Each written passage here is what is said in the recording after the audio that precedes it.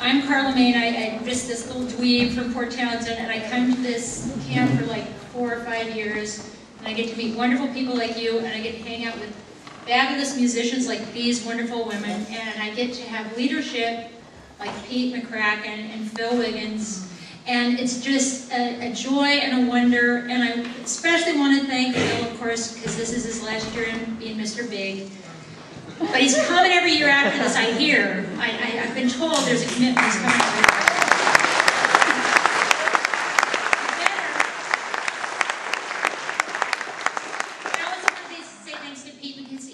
creates the culture here. He and he and Phil created the culture here, which is so special and wonderful for all of us. So okay, so the other part is, you know, you may or may not want to listen to me, but you probably want to stand up.